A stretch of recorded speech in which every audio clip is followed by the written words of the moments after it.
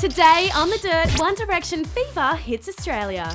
If it was even possible to make their fans scream any louder, the boys got their shirts off and cruised around Sydney Harbour. Rocking only shorts and sunnies, 1D took time to chill out ahead of their Australian tour. We'll chat with the boys later today on Dirt TV.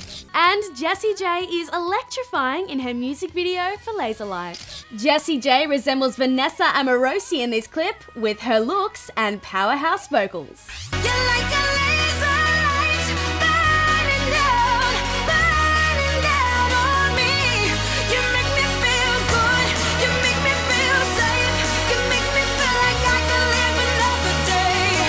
And that's it for now, but we'll be back soon with heaps more right here on The Dirt.